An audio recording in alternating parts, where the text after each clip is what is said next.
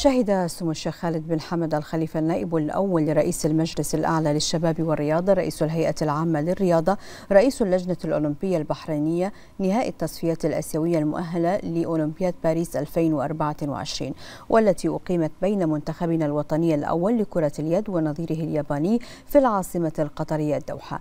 حضر النهائي سعادة السيد عبد الرحمن صادق عسكر الرئيس التنفيذي للهيئة العامة للرياضة وسعادة السيد فارس مصطفى الكوهجي الأمين العام للجنة الأولمبية البحرينية.